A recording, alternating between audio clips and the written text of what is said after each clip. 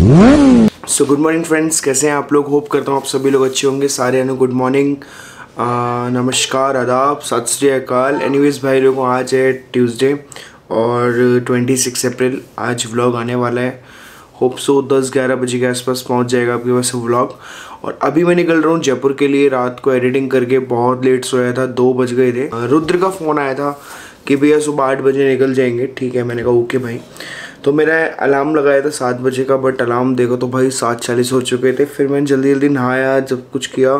और अभी हो चुके हैं भाई आठ बज के दस मिनट, जो रुद्र इनका कोई भी दूर दूर तक ठिकाना नहीं है कि वो कब आएँगे, क्या है। जस्ट अभी मेरी बात हुई थी, बोल रहे थे भैया पंद्रह से बीस मिनट लगेंगे। तो उन्हीं का वेट कर रहा हूँ, बाकी सब पैकिंग हो चुकी है, हेलमेट रखना है जैकेट रखनी है। और और कुछ भी नहीं रखना, बस दैट्स ऑल तो निकलते सीधा जयपुर के लिए। जो अपनी बाइक है, वो सेरेमिक प्रो पे खड़ी हुई है। वहाँ से पिक करनी है, फिर सीधी आएगी अपने घर पर। एनीवेज तो जल्दी चलते हैं, उसको लेके आते हैं। गोप्रो मैंने चार्ज कर लिया था रात को, उसकी बैटरी चार्ज कर ली थी। तो बाकी सब डाटा वाटा ट्रांसफ़र करके मेरे को रात को, कल मैं रात को दो बजे सोया हूँ। पूरा व्लॉग एडिट करके व्लॉग अपलोड करके। तो अब करता हूँ वो वाला व्लॉग आपको अच्छा लगा होगा। एनीवेज टाइम नहीं लगाता, मुझे नीचे जाना है जैकेट भी रखनी है हेलमेट भी रखना है, उसमें गोप्रो भी लगाना है तो मिलते हैं आपको सीधा जयपुर में सैरमिक प्रो। पर so, चलो जी अब निकलने का टाइम हो चुका है। यहाँ अपनी भूसा कोटेड हो चुकी है और यहाँ अपनी ड्रीम बाइक खड़ी है भाई बारह पचास आर तो बस ज़्यादा जल्दी ये भी आ जाएगी। अभी तो इसमें इन्वेस्ट किया है। थोड़ा पैसा बचाते हैं सेविंग करते हैं फिर इसके लिए भी रेडी हो जाएँगे। Anyways thank you Ceramic Pro thank you Narendra भैया। एंड थैंक यू द यहाँ के जो ओनर है रजत भैया। वो भाई, उनका नेचर बहुत अल्टीमेट है। एनीवेज थैंक्स अलॉट भैया। अगर आप ये व्लॉग देख रहे हो तो। भाई, इनका जो काम है ना, वो बहुत एक नंबर है। यार देखो, मैं इतना जानता हूँ, आज अगर आप बाइक की केयर करोगे ना तो बाइक आपकी केयर करेगी यार। सीरियसली बता रहा हूँ। सो फाइनली भाई लोगों, अब हो चुका है निकलने का टाइम जयपुर को करने का बाय बाय और टाइम हो चुका है भाई साढ़े पाँच और मोस्ट प्रोबेबली मैं आठ बजे तक ही पहुँच पाऊँगा। और जो मेरा वाइज़र है, वो एक्चुअली डार्क स्मोक है तो थोड़ी सी प्रॉब्लम आएगी मेरे को। बट जितना भी अभी कवर कर लूँगा तो हो जाएगा। बाकी बाद में तो फिर मुझे आराम से ही चलना पड़ेगा। यहाँ पेट्रोल की रेट है भाई 118 सो हाफ़ टैंक तो मेरा पेट्रोल था बट अभी फुल करवा लिया है। थाउज़ेंड रुपीज़ का इसमें अभी आया है भाई। तो इतने में तो खैर अपन आराम से पहुँच जाएँगे भरतपुर। एनीवेज भाई लोगों, बहुत मज़ा आ रहा है इसको चलाने में लिटरली पता नहीं क्यों। ये मेरा प्यार है भाई। क्विक शिफ्टिंग पर जब ये पटाखा फोड़ती है ना, ओए होए होए होए, प्यार हो जाता है, अलग लेवल का प्यार। क्विक शिफ्टिंग के पटाखे। डाउन डाउन ज़्यादा उड़ना भी सेहत के लिए हानिकारक हो जाता है। तो ये रही भाई अपनी रानी और मैं रुका था अभी डोसा ब्रेक थोड़ा सा लिया था, पानी वानी पिया था। तो ये अपनी है जयपुर डेरी, बिल्कुल एक सर्कल पे डोसा सर्कल पे। अब मैं आपको बताता हूँ कि इसमें नुकसान क्या हुआ था। भाई एक दिन कहते हैं नज़र बहुत बुरी होती है तो नज़र सच में बहुत बुरी होती है। मैंने स्टैंड लगाया था एक दिन और उस स्टैंड पूरा लगा नहीं था तो बाइक अपना आप गिर गई थी, जिसमें एक ये तो नुकसान हो गया, ये देखो मिरर हिल रहा है। तो ये मुझे चेंज कराना पड़ेगा एंड देन उसके बाद ये जो स्क्रैचेस दिख रहे हैं आपको लिटरली बता रहा हूँ, दिल पे लगे हैं स्क्रैचेस बट कोई नहीं ऑर्डर कर दिया है मैंने इसके पार्ट्स वगैरह एंड कुछ दिनों में आ जाएँगे तो ओ सो के वो राइड के बाद ही आएँगे। उससे पहले नहीं आ पाएँगे, मैंने कंफर्म कर चुका हूँ। तो चलो जी, अब निकलते हैं। ये क्या अपना जयपुर का रोड अपन हो जाएँगे ऐसे यू टर्न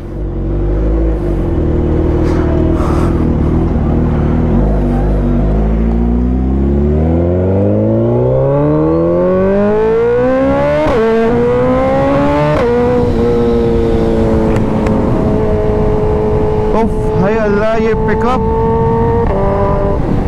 यही तो मेरी जान ले जाता है। भाई, जब से इसमें क्विक शिफ्टिंग आई है ना क्लच की नीड ही नहीं पड़ती मुझे, खास करके हाईवे पर।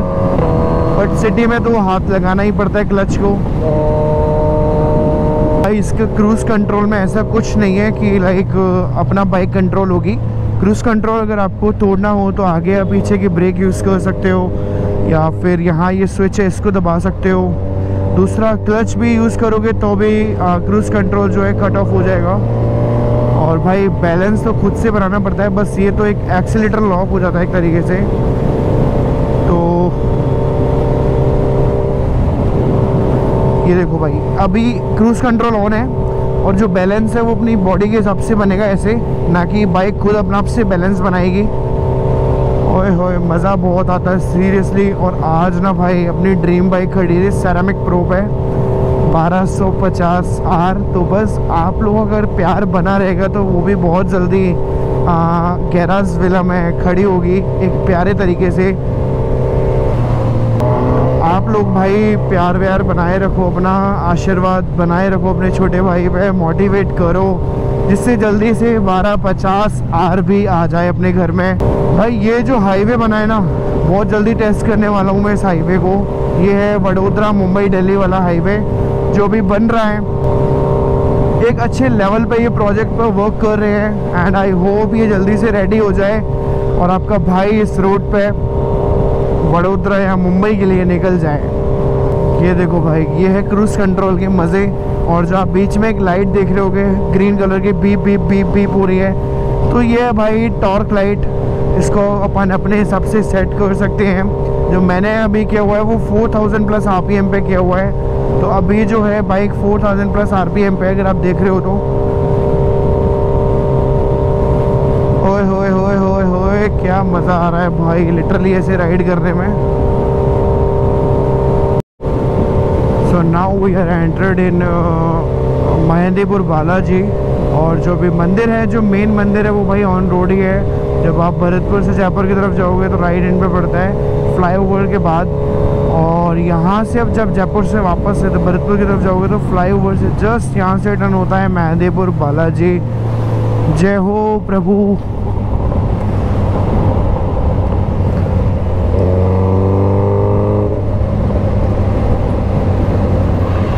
जय हो हनुमान जी, अपनी कृपा बनाए रखना, अपना आशीर्वाद बनाए रखना।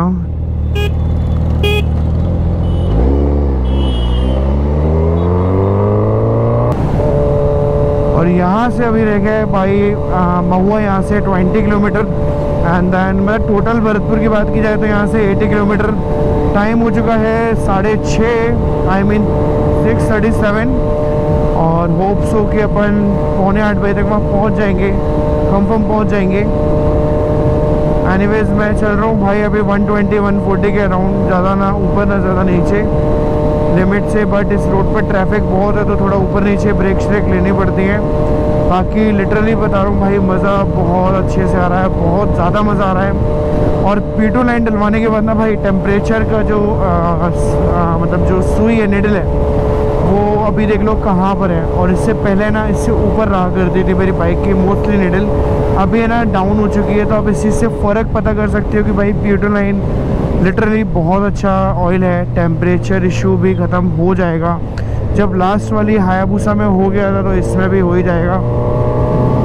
तो I suggest for Putoline और बाकी आप लोगों की मर्ज़ी है, सारे ऑयल्स अच्छे हैं Castrol Liqui Moly every oils are good but I trust to Putoline and I just recommended for you guys for Puto so so, भाई लोगों मैं तो सोच रहा था कि साढ़े सात आठ बजे तक पहुँच पाऊँगा बट अभी तो सात ही बजे हैं यहाँ पर और यहाँ से रह गया है भरतपुर सिर्फ़ थर्टी किलोमीटर तो होप सो मैं आधे घंटे तक पहुँच जाऊँगा या उससे पहले ही पहुँच जाऊँगा। और अभी सात भी पूरे नहीं बजे अभी तो छः बज के पचपन मिनट हुए भाई मतलब पाँच मिनट बाकी है सात बजने में तो मतलब पाँच मिनट में मैं करीबन ज़्यादा नहीं तो छः सात किलोमीटर और कवर कर लूँगा।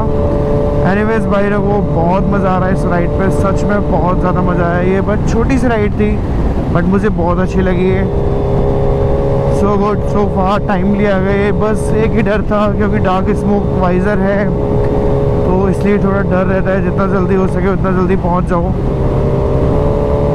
130 140 में क्रूजिंग कर रहा हूँ इसकी, और एवरेज भी काफ़ी अच्छा दे रही है। 15.2 मतलब ओवर ओवर आप मान के चलो 16 का एवरेज हाफ़ टैंक हो चुका है इसका अभी तक। तो ज़्यादा नहीं तो पाँच या तो पाँच एक लीटर और इसको चाहिए भरतपुर तक पहुँचने के लिए। एनीवेज भाई लोगों सो गुड सो फार टाइमली पहुँच जाऊँगा घर पे, ये ज़्यादा अच्छी बात है। हाँ जी, की हाल चाल? सारे आधे फाइनली अपन सवा सात बजे घर आ गए थे। और टाइम हो चुका है अभी साढ़े ग्यारह। मैंने एक पावर नैप लेने के लिए सो गया था थोड़ा सा। नहीं साढ़े आठ के अराउंड निकल गए थे हम।